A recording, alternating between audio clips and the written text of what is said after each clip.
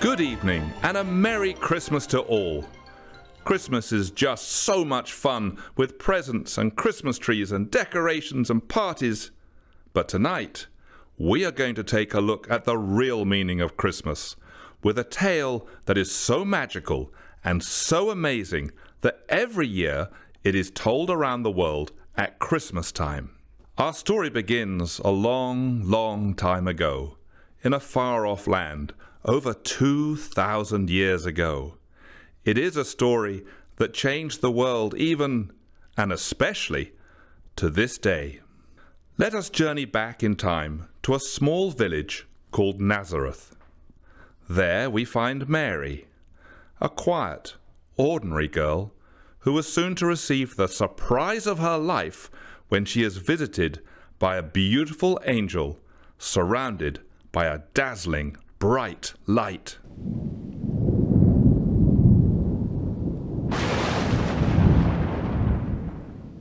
At first, Mary is very afraid and cries out, Who are you? What are you doing in my house? You are scaring me. My name is Gabriel. I am the Archangel Gabriel. I have been sent directly by God. I have come to give you a really important message. God has chosen you. You do not need to be afraid. No, I don't understand. I am just an ordinary girl. Why would God choose me? What is this message that is so important? Mary, you are going to have a baby, a baby boy, and his name will be called Jesus. He will be the Son of God, and he will save the world. But how can that be? I am not even married yet. What will my fiance Joseph say? This is all so strange and so scary. Be not afraid, Mary. You are in God's hands. All will be well. Joseph will understand, and he will help you.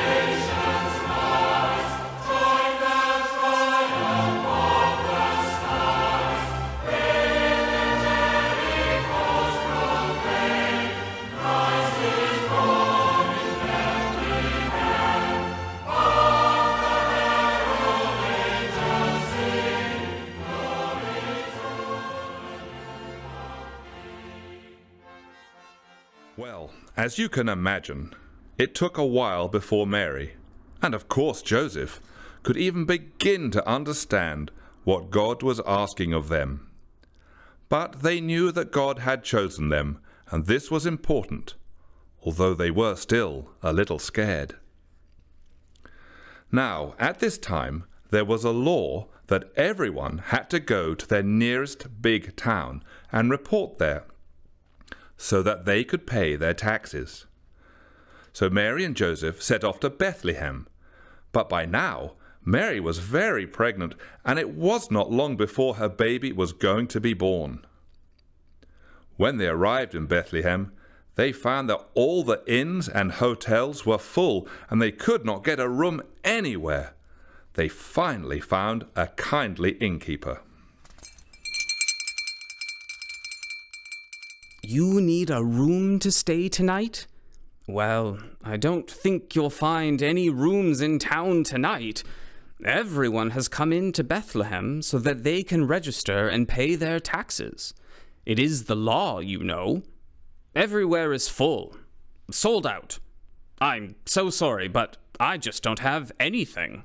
Look, I know it's getting late, but Mary is about to have her baby. We are desperate. We have nowhere to go. We have to find somewhere. Every inn we have tried is full. Surely you must have a room. We will take anything. Um, the only room I have is for animals. It's the stable out at the back. There are cows and chickens and a donkey in there. Probably a few mice too, I expect. But it's all I have. That is no place for a mother to have her baby. Oh, thank you, thank you. We will take it. Oh, thank you. A hundred times. Come on, Mary. At least it's dry roof over our heads tonight, and oh, my goodness, you look so tired. We will be warm and comfortable there.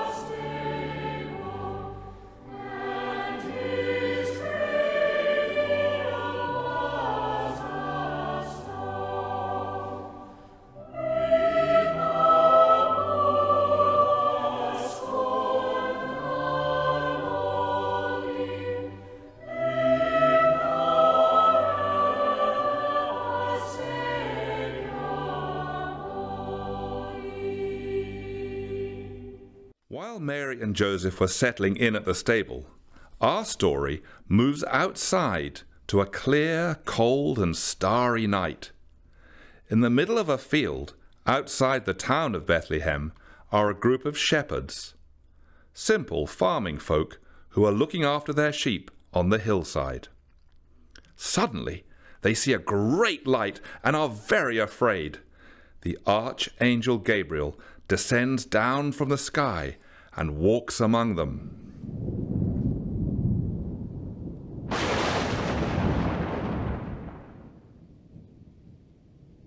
Be not afraid. I am the angel of the Lord, and I have come to bring you wonderful news. The Son of God is to be born nearby, and you will be among the first to visit and meet him. He will be called Jesus, and he will come to save us all. And then suddenly a whole host of angels appeared in the sky. They were praising God and saying, Glory to God in the highest, peace on earth, and goodwill towards all. Well, as you can imagine, all the shepherds were terrified, but they knew that this was no ordinary angel, and this was no ordinary message. They asked Angel Gabriel how could they possibly find their way to this special newborn baby? You see that beautiful bright star shining so strongly way up in the night sky. Then follow that star all the way, and you will surely find the Son of God, the baby Jesus. Go now, as God commands, and meet the Messiah, the chosen one, who will save the world.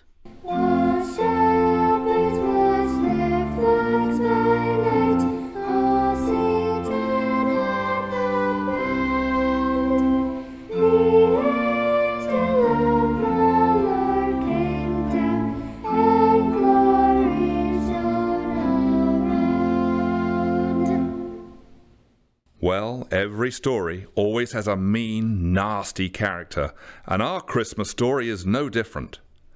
The king who ruled the land was a horrible, scary man. His name was King Herod. I have heard the most distressing rumors of some special baby being born in Bethlehem. What is so special about a baby? I am the king here, King of the Jews. No one is more important or special than I am. Send out an order to the palace guards to find and kill every child under two years old. That way, I will ensure that everyone knows who is in charge. I will soon find that baby Jesus. Messiah indeed.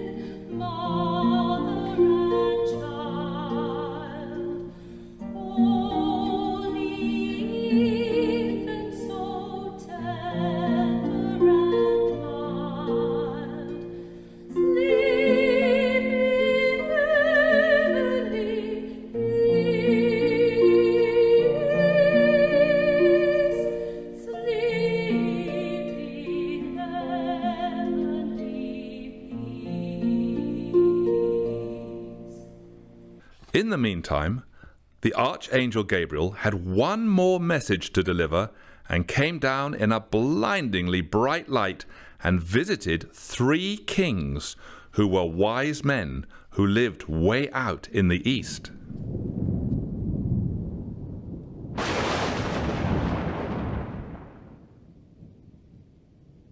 You three kings are very wise men. God is commanding you to visit the town of Bethlehem. You see that beautiful bright star shining so strongly way up in the clear night sky? Then follow that star all the way, and there you will surely find the Son of God, the baby Jesus. Go now as God commands and meet the Messiah, the chosen one, who will save the world.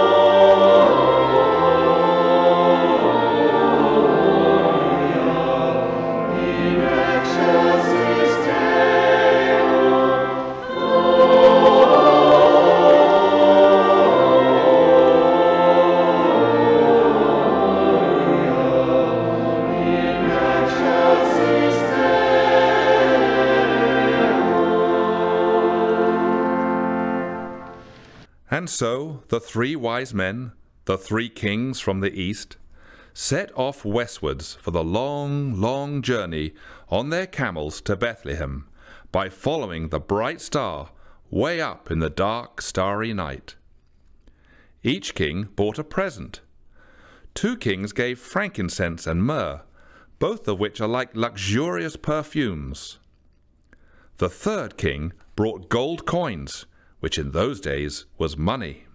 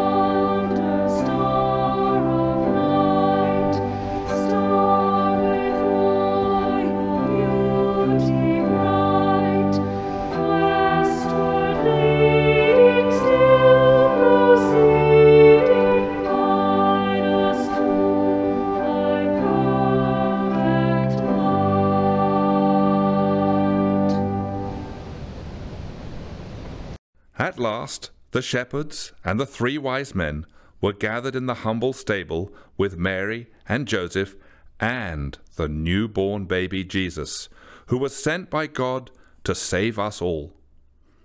The stable was warm and bright and full of animals, and there was much rejoicing. It was obvious to all that Jesus was a special baby indeed. He was the Son of God. There was no furniture and no crib for the baby Jesus to lie down in, so Mary wrapped him snugly up in a cloth and put him to bed in a manger of hay.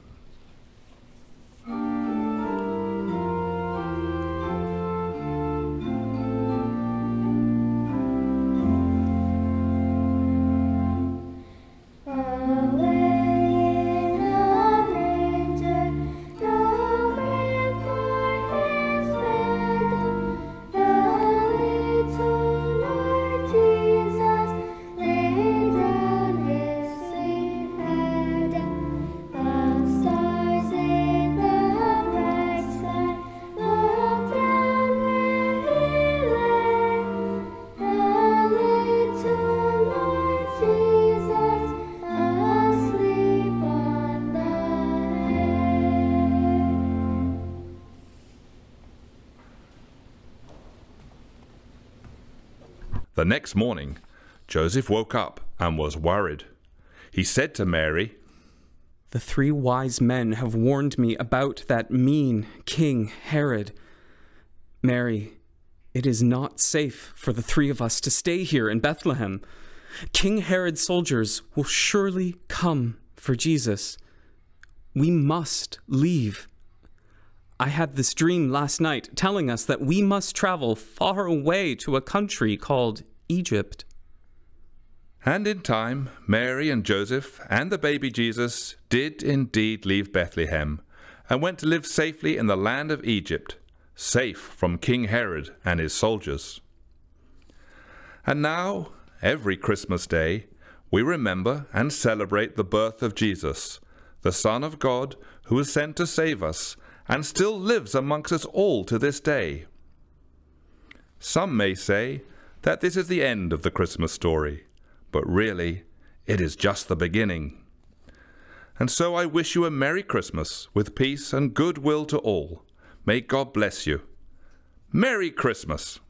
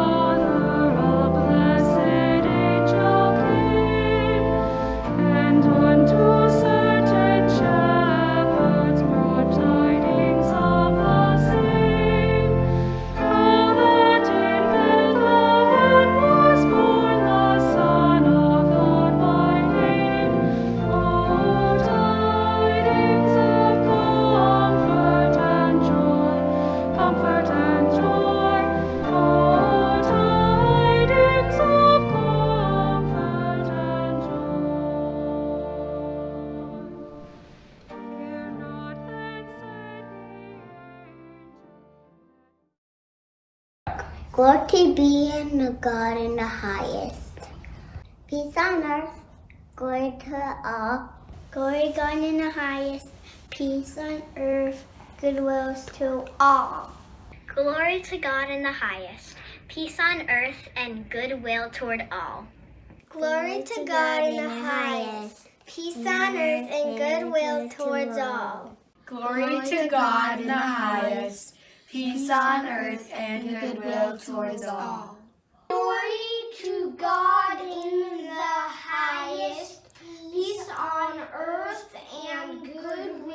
toward all. Merry Christmas!